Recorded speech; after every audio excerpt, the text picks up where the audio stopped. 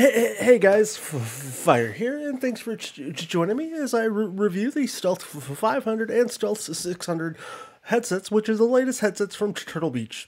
So if you didn't know right away, the, these headsets are mode, made both for Xbox and uh, PlayStation. They have different versions, but based because the consoles are different, but they all connect and work with PC and mobile and Nintendo Switch.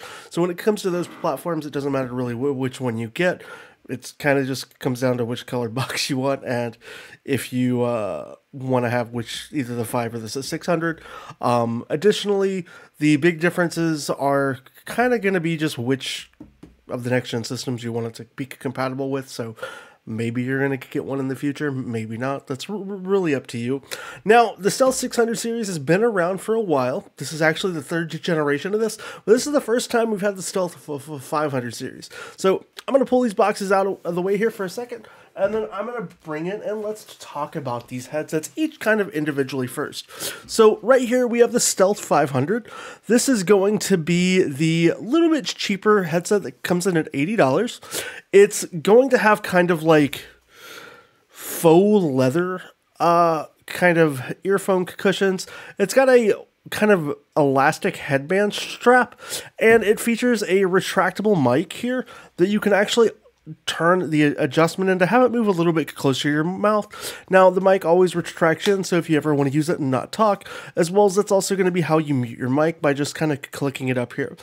Honestly, these are a decent kind of I don't want to say budget because these are both kind of coming in at a very similar price, but they're both decent headsets. I'm going to set this one here aside real quick, and then I'm going to introduce you to the Stealth 600 third generation headset. So we'll set that right over here. So this headset features kind of a more like memory-esque foam faux leather-esque kind of headband that honestly is a little more comfortable than this kind of uh, elastic band. But the big difference here is you're going to get these nice kind of fabric soft ear cushions. And additionally, you're going to get AI mic noise reduction that's going to help keep out outside noise, which isn't going to be factored into the Stealth 500s and only starts at the Stealth 600s. These also feature that very same retractable mic that kind of ticks in and outward, goes both ways, and both of these headsets connect to your console using a little wireless dongle USB that kind of just plugs into the console, as well as they both feature USB-C ch charging and then a varied set of buttons for whatever kind of your audio needs are. Now, let's talk about kind of the differences here. Really, the big differences you're going to get here is the type of headband you're going to get up to top.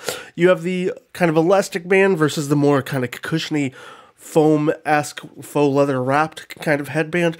You're also not going to have the AI noise reduction on the Stealth 500. That's only going to exist here on the Stealth 600. For a $20 price difference in these headsets, I honestly think you're better off to go with the Stealth 600 right off the bat. And I think the Stealth 500, although it comes in okay, being only $20 in price difference when you're already probably looking for a little more premium headset, you're kind of going to want to kind of steer toward this direction. So, with that being said, I'm going to I'm going to recommend the Stealth 500s if you maybe it's your first foray into these type of headsets, but if you're looking for kind of an upgrade, I think the Stealth 500s are going to be a headset you can kind of set off to the side. This is going to be where you're going to kind of get the nice better quality $100 headsets that feature just, this is just so much more comfortable in how they work. These both feature pretty extensive battery lives. Um, I will say this one lasts up to 80 hours on a single full charge, but this one's only going to last 40 hours. So I guess there's a little bit of a difference there, but to be honest, most gamers are going to plug their headsets in far before you ever hit, hit those kind of points. So, which I always recommend every couple days. Just plug your headset in, keep the batteries at full charge, and kind of keep it up and going. Now, where do you kind of go from here, and how does this compare to some of the more, I guess, pricier headsets? For for for me, my daily driver has been these Stealth Pro headsets. These are extremely higher price pointed. Um, and I do have a re review on the channel if you want to go check these out. Um, just go check out my channel as well. This comes in at over three times the price point at 330 bucks. So for a hundred dollars, this is by far an amazing bang for your buck when in terms of headsets and stuff. This is becoming my daily driver. It's been I've tested it with gaming, but it's also becoming my daily working driver headset.